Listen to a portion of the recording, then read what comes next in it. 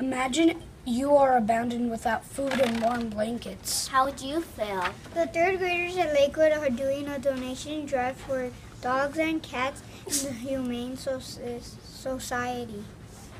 Why would I why would I donate things to help animals? It is important to donate to animals because they need our help. All these wonderful animals could die. Animals need food so they don't starve. They need blankets just like us because it is very cold. Imagine if your pet was in a shelter. How would you feel? We want to make sure we take an treat animals the way we would want to be treated.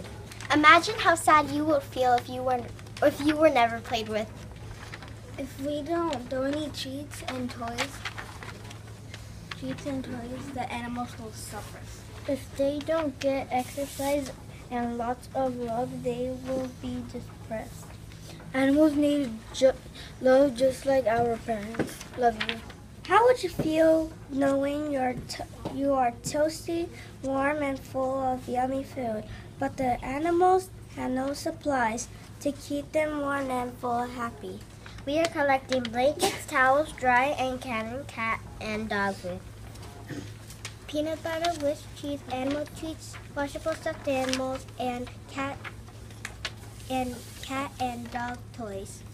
Please bring it to Lakewood before or after school any day between December 5th and December 16th. We will have tables in front of the third grade classrooms, rooms 17 to 19. Before school from 7.45 to 8 o'clock. After school to 2.15 to 2.30. Without our food and blanket donations, the animals in need might not survive. Please make a donation